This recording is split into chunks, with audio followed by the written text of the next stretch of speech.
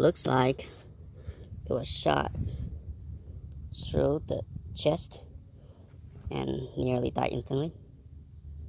Now I'm gonna move it back up the hill for the coyote to eat it. There's a coyote passing by.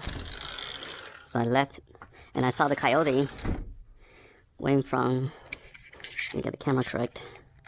It went from there, walking all the way, took a piss right there though. Walking all the way there and just jump right over that wall. That's a, probably a six, five foot wall. Just jump like a cat. That's insane. I didn't know coyote can just jump. And then we got this rabbit.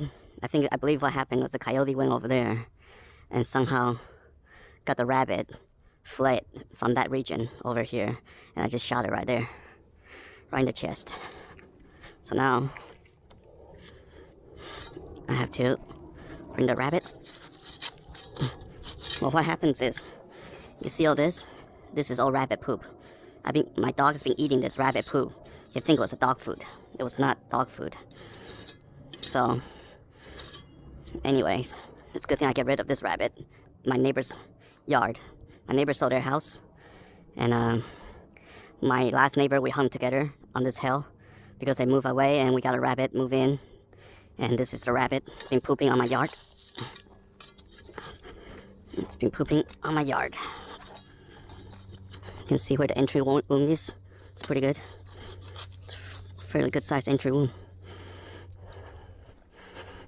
So we get this rabbit all the way back up the hill.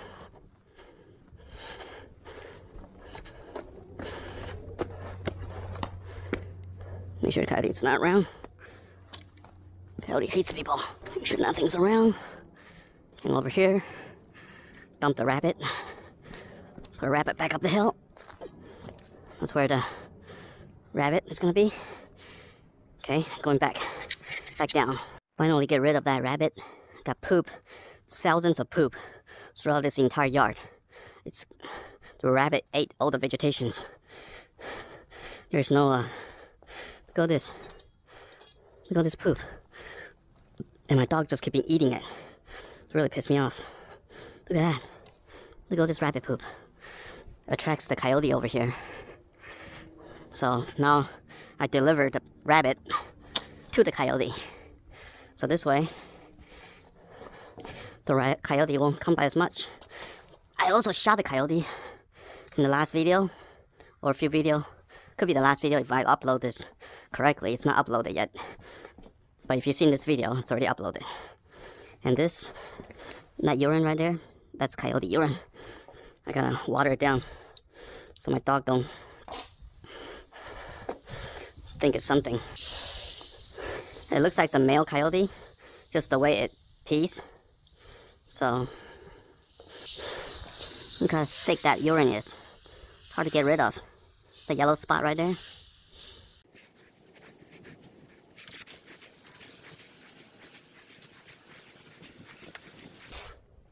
Okay. Get rid of the blood.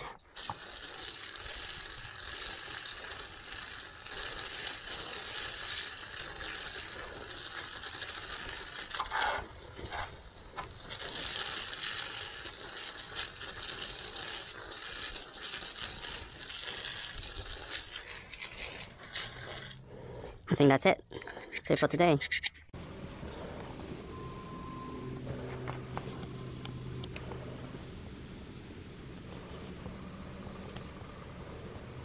There's that rabbit next to this peanut butter.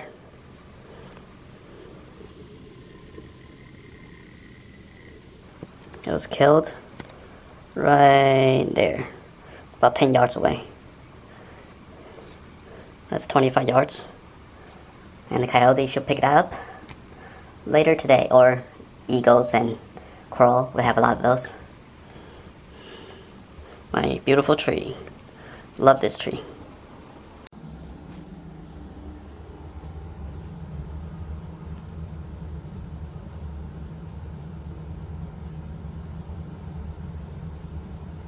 This rabbit, among some other few rabbits, has been pooping all over my yard.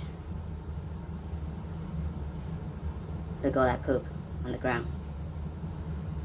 thousands of poops. It has to die. I just shot him upstairs with this Gamo Fusion 22. Make sure it's dead. I think should be a straight headshot. Yep, it's a straight headshot through the brain.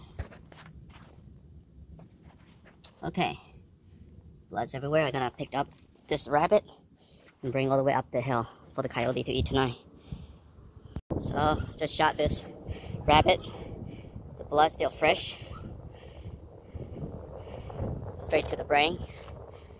And put it up in the hill for the coyote to pick up tonight. Hopefully the coyote will come. So this will be the second rabbit. Most likely I will group into the same video. So let's take a look where I left its body. Up there. It was still bleeding. As you can see the shovel. Straight, a hole straight between two eyes.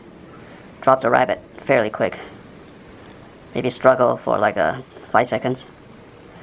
After the brain got blew out. Pest control. Complete. So, I replenished with uh, peanut butter.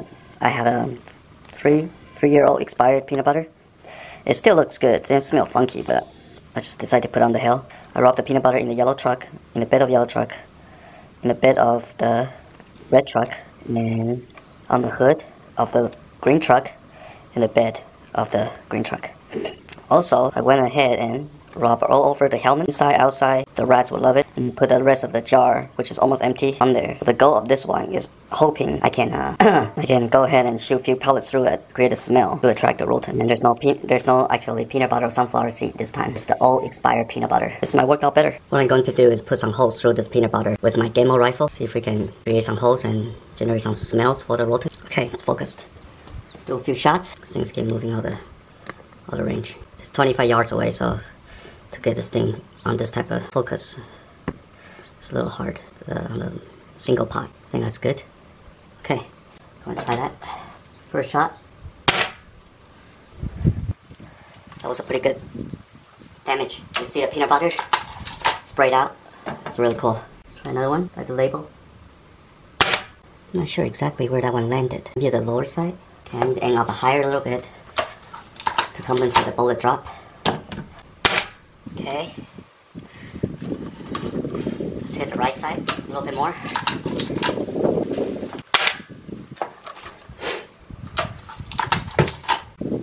I'm not sure, I might just keep hitting the same spot. It's hard to say. Look pretty good. Just a little bit. Too high. Zoom out a little bit. Try again. I think that was a drag hit. Looks pretty good. I think those holes will do. How many shots I fired? 10 shots. Perfect.